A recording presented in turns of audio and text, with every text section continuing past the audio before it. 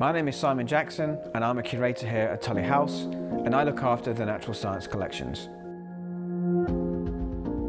The collection is data-rich in its comprehensive coverage of the highly biodiverse county of Cumbria. And because of all this data, we can use it to conserve species. We can identify different populations, where they are, how they are changing, and how they are responding to land use change and the impacts of our own species.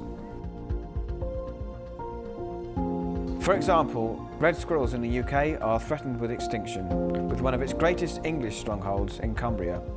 The collection can help us to identify distinct populations across the region and to see how they have changed over a matter of decades in the late 20th century. Taxidermy specimens have tremendous cultural, historical, educational and scientific value.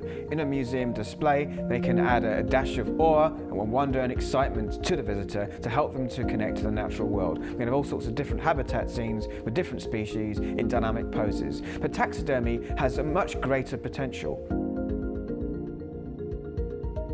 In a time of rapid environmental change through climate change and habitat loss, I believe that taxidermy specimens and their dioramas will become more important than ever in terms of documenting what was once there. These habitat cases were created by a former curator Ernest Blezard in the mid-20th century, and he based them on actual field observations on Cumbrian habitats. Now, some of these Cumbrian habitats and species are still there. Sadly, some are not, but these are a record of what was once there and what was lost so they are irreplaceable. We acquire specimens that fit our collecting policy, specifically those that are from the biodiverse region of Cumbria.